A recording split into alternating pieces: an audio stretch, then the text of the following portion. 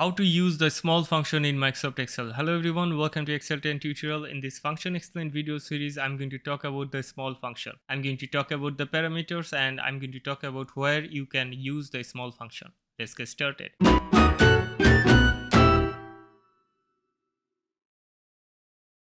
The best way to learn a function is to apply it and in this tutorial I'm going to apply the small function and while I'm applying it I will be explaining the parameters. So first write here equal to small and here it says return the kth smallest value in a dataset for example the fifth smallest number okay.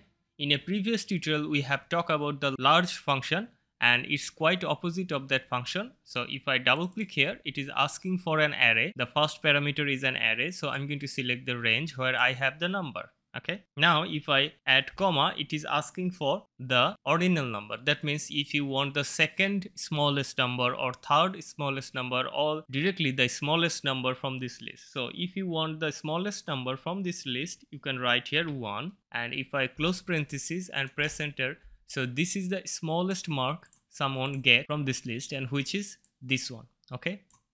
And now what if I want to find out the third smallest number? So I'm going to write here equal to and then write here small. Double click on the function select the range at comma and as I want the third smallest number so I'm going to write here 3 and if I close parentheses and press enter so this is the third smallest number you can find out the fifth smallest number also and so on. So i'm going to try it again. Write equal to and then write here small. Double click here select the range add comma and write 5 this will give me the fifth smallest number. If i press enter this is the number.